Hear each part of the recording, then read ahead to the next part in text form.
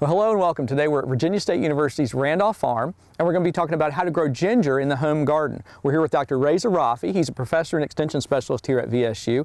Reza, thank you for letting us come out here today. We Oh, really appreciate Great it. Great to have you with us, Chris. Now, I know among other things you've been growing ginger for a few years now, but you're doing something a little different this year. Yes, traditionally we grow our ginger in a high tunnel in the ground, but this year we said, uh, what would happen if you take it outside and grow it outside under normal condition? And the result has been really interesting with the, in terms of the quality of the ginger that we are growing outside in the garden. So, what does that mean for a home gardener? Could they grow something like this? Absolutely, positively, yes, because uh, it's uh, we've grown it and it takes seven months to be able to grow it uh, Okay. in outside, and that's enough to be able to produce good quality uh, rhizomes. There. What would they put in the ground to start growing this? Just a, seed, a piece of uh, seed, seed, a piece of rhizome, which we call a seed piece, Okay. and then you can get that from your local supermarket. You want to make sure that that's a disease-free, fresh-looking piece of mature ginger, and you take that and you plant it. And then if you're lucky that that it doesn't have any uh, disease with it, and then you would be able to uh, produce uh, nice-looking ginger plants. When would somebody in most of the parts of Virginia put this in the ground? Probably mid, uh, I would say mid-April would be a good time after the, uh, the last frost. That would be a good time to plant it.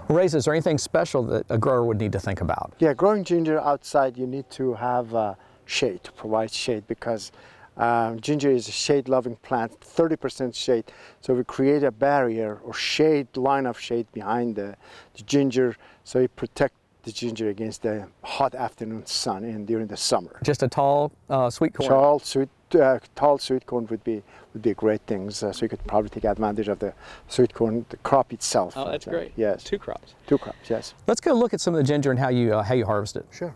Well, Reza, before we harvest one of these, I noticed you're in ra- in a raised bed situation. Does that, do you have to do that? No, you don't have to. But again, this year we didn't have the experience outside.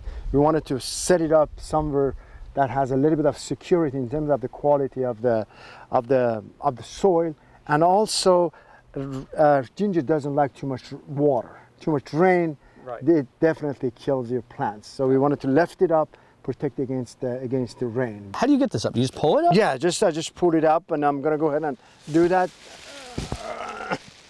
There you go. Wow. My goodness. Yeah, this is actually a, a ginger plant uh, that was planted in here in uh, in uh, in actually in June.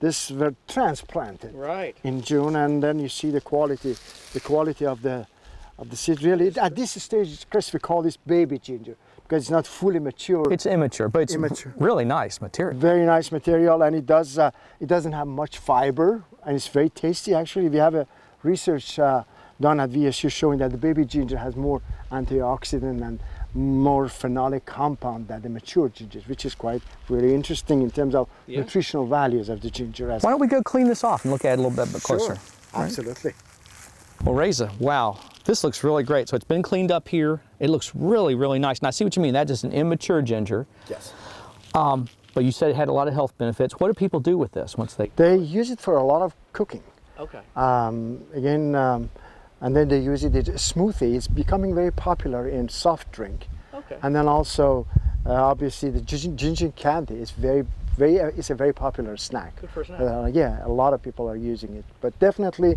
is one of the healthiest spices you can imagine, Chris. Oh, that's great. Well, this is so nice. I really like what you're doing. I'm glad that this now is something that maybe a home gardener can give a try too. Yes, absolutely. Well, thanks for letting us come out today. Really appreciate it. Sure.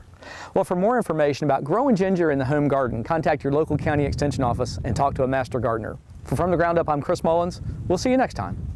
From the Ground Up is presented with the generous advice and assistance of Virginia Cooperative Extension. Visit their website at ext.vt.edu.